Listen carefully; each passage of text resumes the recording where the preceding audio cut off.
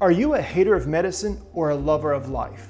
Every time you turn on the television, open a newspaper or a magazine, you're likely to find some sort of publication that's promoting prescription drugs. Many years ago, I did a workshop where patients came into the office and I began to teach them about different aspects and ways to view health.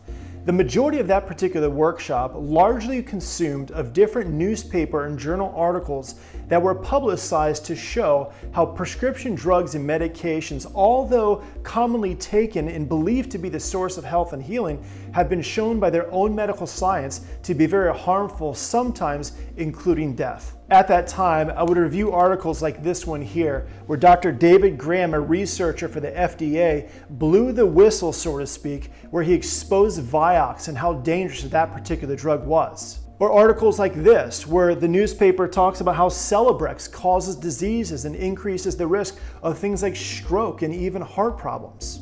And then there's articles like this one here that talks about how painkillers can increase the risk of kidney failure. That's right. I mean, you look at stuff like this, and this is an article from years and years ago. This is something that's not new to the community or new in research, but it talks about here how if you take between 105 to 365 acetaminophen per year, it increases your risk of kidney failure by over 40%. And then I go through even publications like at a Time magazine where it says what doctors hate about hospitals. And when it comes down to it, it's being you, according to this article here. The scariest thing for doctors and healthcare workers is being put into the position of being you, the patient.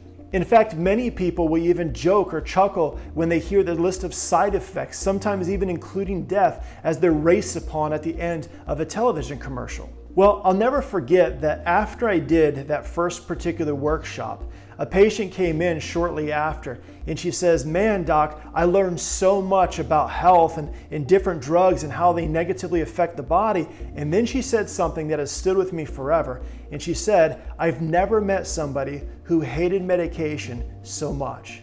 Now, at the time, being young and inexperienced, I kind of got a little prideful and I kind of puffed up myself and I was proud that, you know, she said that. But then later on, I recall, as I was in my quiet time, in my prayer time, I remember just thinking and hearing the Lord ask me, So is it that you're a hater of medicine or perhaps a lover of life?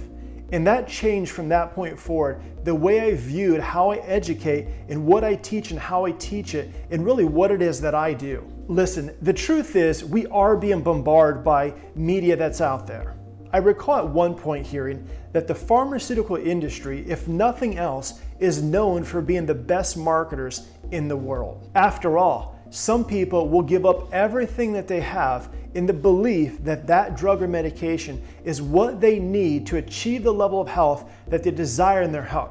The truth is, we are in fact being bombarded with a ton of different avenues of marketing and publications that are telling us that drugs are the solution, the answer, so we can all achieve better life and better health. The truth is, we are in fact being bombarded with a variety of different types of media that's always in our face telling us that drugs and medications are in fact the solution to be able to achieve better life and better health.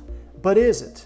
I recall at one point hearing of how the pharmaceutical industry has a specific purpose with their marketing techniques. In fact, I recall hearing at one point that the pharmaceutical industry has a specific goal, which is by the time the average person is 21 years of age, they want them to have been exposed to over 18,000 hours of drug propaganda. If nothing else, the pharmaceutical industry, although perhaps their intent is to help, what they're known for more than anything else is putting the greatest amount of effort not into how to help you become healthy, but in how to brainwash you or get you to believe that what they do is the solution to your health. Let's face it, most people realize that this is going on. The problem, however, is that those same people who realize that perhaps drugs and surgery aren't the answer, in fact, to better life and health, they still don't relate it to them. For some reason, our own way of thinking is such that we never believe that it could actually happen to us, or that if we're going to have a reaction to a drug or a medication of some sort, that if it's not right away, we assume it's never going to happen. However, that's not the case. Listen, the American population itself only accounts for roughly 5% of the entire world population. Yet, we consume as Americans more drugs and medications, both prescription and over the counter, than the rest of the world combined. Therefore, if drugs and medications were in fact the solution to achieve better life and health and live a long, vibrant life, then being that we take more than anybody else, our health would be at the top. But unfortunately, according to the World Health Organization, among other studies, that's not the case. The truth is, your body was created to be healthy, to function and heal and be the full expression of life the way God created you. And although many people believe that their drugs and medications are an important part of their well being, the truth is there is no drug or potion or pill that can heal the way the innate wisdom of your body was created. My position as a chiropractor is not to tell a patient to or not to take a drug or medication, but rather to empower them with truth and knowledge so they know exactly what to do to not only get healthy, but to stay healthy. The truth is, the more you're empowered with truth and knowledge, of just how incredible your body was created and how chiropractic is an essential part of keeping your body functioning free of interferences to the nervous system, your body will be that full expression of life from inside out the way God created you. After having been able to educate and talk with thousands and thousands of patients through the years, I found that many people will tell you that the moment their doctor tells them they have some sort of health complication, whether that's diabetes or high blood pressure, perhaps high cholesterol, regardless of the case, in many people, they'll say that there was something that happens inside that a sense of urgency rises up and they realize at that moment that something has to change. The danger, however, is although in many cases their doctor means well by controlling their condition or symptom via medications, many people, once they begin that process of taking medications, that urgency, that sense of, I have to do something to be able to improve my life and their health, it goes away. And next thing you know, most people find themselves back where they were before, where they've changed nothing regarding their lifestyle or how to get the body what it needs to heal at its best but look at the drugs as the solution with the idea that if the numbers, quote, are normal, then once again they are normal, which is a mechanistic viewpoint instead of that of a vitalistic viewpoint. You see, it's not about telling you to not take medications. It's about telling you and helping you to understand clearly so you have no doubts whatsoever the potential you and your family have to truly heal and be at your best.